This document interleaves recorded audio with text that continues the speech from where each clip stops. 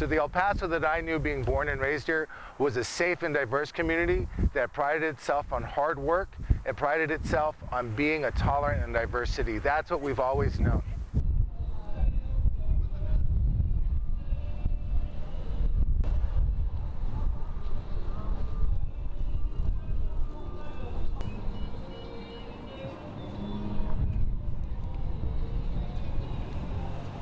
What we understand here is that the border is a blessing.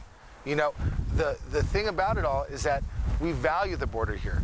That border crossing defines us, you know, and we have family that crosses every single day. We have music that crosses, economy that crosses, culture that crosses, food that crosses. And so when you talk about this community of celebrating a wall, that's not who we are.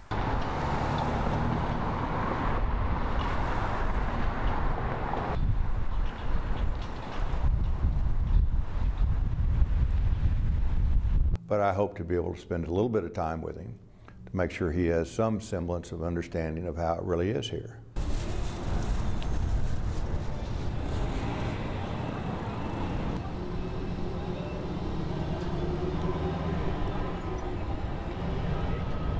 He, he was parroting what our Attorney General said related to crime in El Paso before the fence went up and and the fact that we are, the, you know, the ending of his remarks or the end of his remarks about us being one of the safest cities in the nation were correct.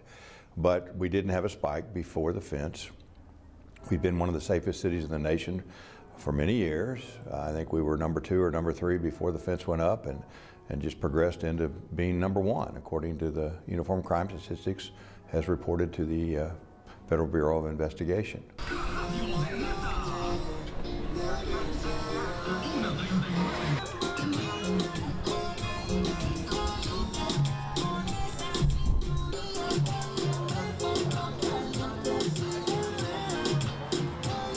Unfortunately, uh, it was bad information.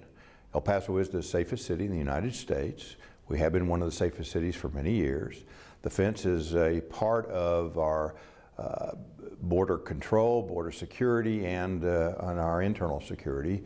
But uh, our uh, uh, public safety through our police department is responsible for the majority of, of why we are considered one of the safest cities.